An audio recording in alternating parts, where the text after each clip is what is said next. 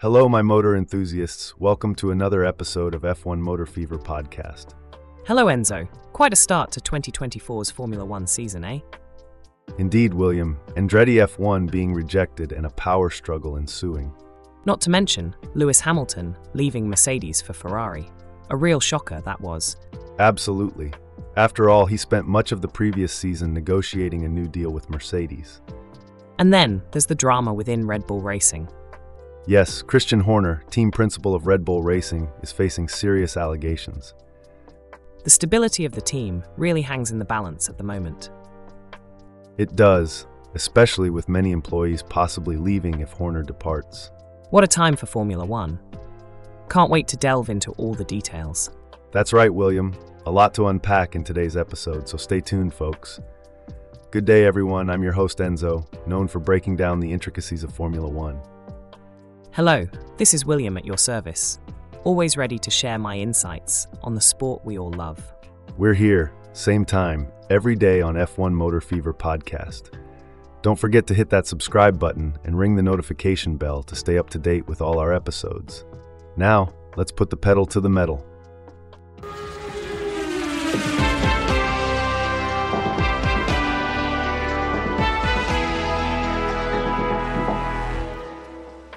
Seems like this year's Formula One season kick-started with an explosion, even without a car hitting the tracks. Quite true, the traditional quiet times during winter got a real shake-up with the controversial announcement. Yes, Andretti F1, green lighted to become the 11th team on the grid, found themselves rejected by the sport's commercial rights holders. Stefan Domenicali, ex Ferrari boss now heading F1, seems to have quite the fight on his hands around control of the entry list. Talking about Ferrari, Lewis Hamilton's departure from Mercedes to them is another big news. Quite a shakeup after 16 fruitful years with Mercedes. It does seem like his contract negotiations with Mercedes didn't quite go as he'd hoped, hence the move. Yes, there's also the unexpected accusations against Christian Horner, the linchpin behind Red Bull Racing's rise. Quite a shock for the team, especially considering his instrumental role since the team was bought from Ford by Didi Mateschitz. Let's not forget Adrian Newey, whose arrival at Red Bull Racing cemented their position. An upheaval now could reshape the entire team's future. Absolutely. This off track drama is shaping up to be as thrilling as the on track races. Only time will tell what's in store. Red Bull has accomplished quite a feat under Horner's leadership. They're just 13 wins away from being the third most successful Formula One team of all time. It's remarkable, especially considering they entered the sport 55 years after Ferrari. Indeed, and they've amassed nearly half of Ferrari's total wins in less than a third of the number of races. I've got a mate who'd be chuffed to hear about this. I bet. But it's not all glamour in the world of F1. The pace and intensity required to work in the industry can be quite challenging. Agreed. There may have been many who joined the champions hoping for a glamorous working life, but couldn't cope with the demands. It's a demanding environment. No team can afford a member who isn't fully committed. Management often has to be ruthless, as we know from Guenther Steiner's confrontational style. Absolutely. This is a world where even the greatest stars come and go on a whim. Still, Red Bull Racing had been a model of stability for a quarter of a century. Now, with the passing of Mateschitz, there seem to be cracks appearing in the unity of the team. A lot has changed in just 18 months. It will be interesting to see how this affects the team's performance in the future races. There's quite a bit of turmoil in Red Bull, isn't there?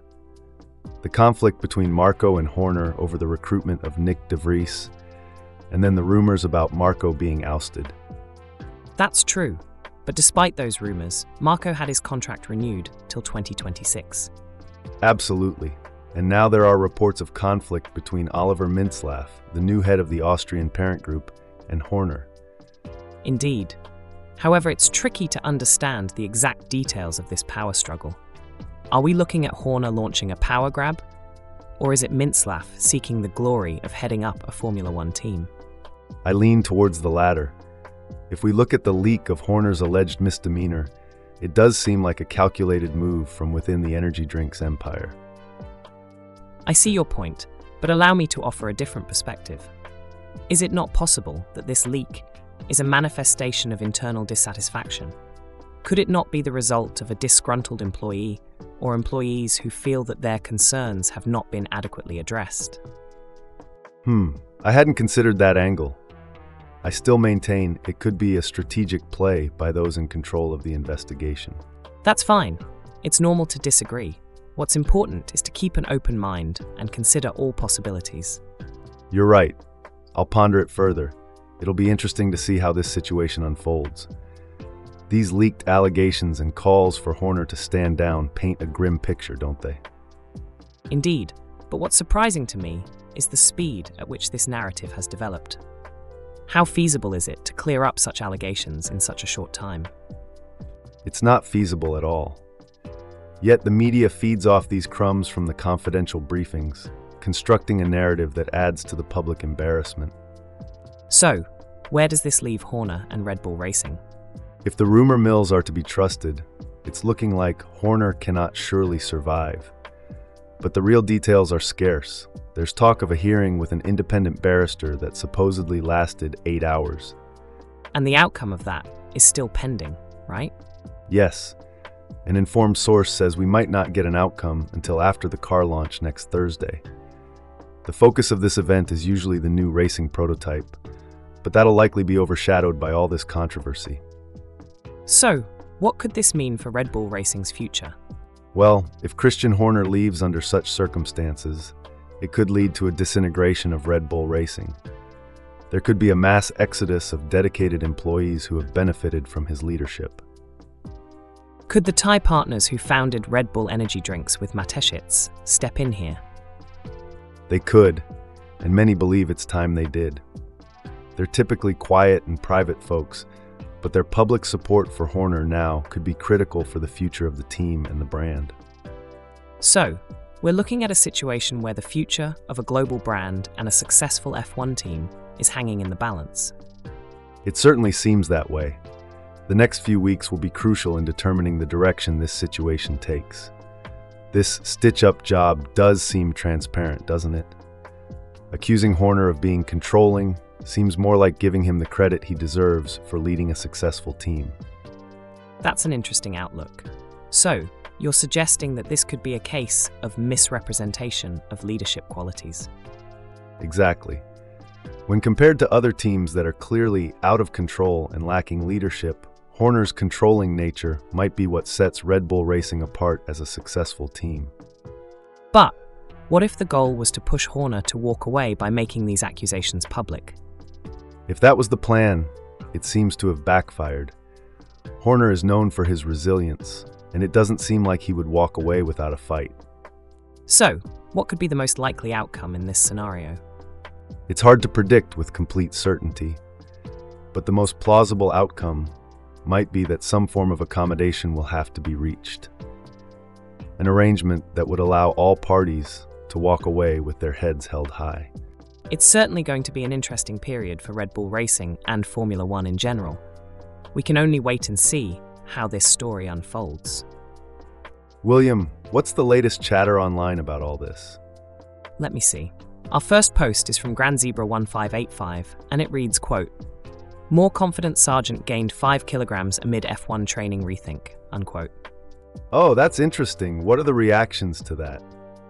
Well, we have Serena Hara saying, quote, Williams, we need more downforce. Say no more fam, unquote. Sounds like we've got some witty comments rolling in. Continue, mate. Basilis chimed in with, quote, the American way, unquote. And this sparked a series of humorous comments. I am Bedgel added, quote, cannot get more American than this, unquote, leading read-only PDF to suggest, quote, strapping M2 machine guns to the side pods, unquote. Blimey, that's one way to take things too literally. Anything else? Certainly, it gets even more amusing. Siberian Sun waded in with, quote, funny way to spell MK19 grenade launcher machine gun, unquote. Ha! These folks do know how to keep things lively with their banter. Oh, absolutely, and it goes on. Pranay909 remarked, quote, carrying Glock in his back, Carolina squat for FW46, unquote. And this was swiftly followed by Sinkerdax, who replied, quote, Glock, nah, 1911, the real America way, unquote. Creativity of folks on these online forums is always a sight to behold. What other gems have you got there, William? There's a couple of poignant comments from Christoy123 who said, quote, Oh, so when he does it, it's confidence building, but when I do it, it's lose some weight, you chubby bloke, unquote. And Sanjay Wayne just simply replied with, quote, Lose some weight, you chubby bloke, unquote. Now that's a dose of reality right there. Anything else, William? Yes, there's more. Good Need posits, quote, the only way is up for Sargeant, the slowest of the 2023 F1 drivers, probably has a chance at outscoring Haas in 2024. Unquote. Interesting thoughts there. It's clear people are watching how this all unfolds with great interest, just like us. Well, that brings us to the end of this episode of F1 Motor Fever podcast. Thanks for joining us for a lively discussion on the latest in Formula One. We hope you enjoyed it as much as we enjoyed bringing it to you. Remember, your engagement helps us keep this channel running. So subscribe, activate notifications, share your thoughts in the comments, and spread the word about our podcast. And don't forget to tell your mates about us. Whether it's during a round of pints at the local or a Sunday roast with the family, we appreciate every mention. We're here, broadcasting every day, bringing you the best of Formula One. Indeed, your support is what fuels our passion for this sport. We can't wait to share more interesting insights and discussions with you. So, until the next episode, keep those wheels turning and those gears shifting. Remember, there's plenty more exciting stuff on the horizon. Perfectly said, William. Once again, thank you for tuning in. Until we meet again, remember our catchphrase pedal to the metal, keep your gaze on the road. Our channel's content is pure gold.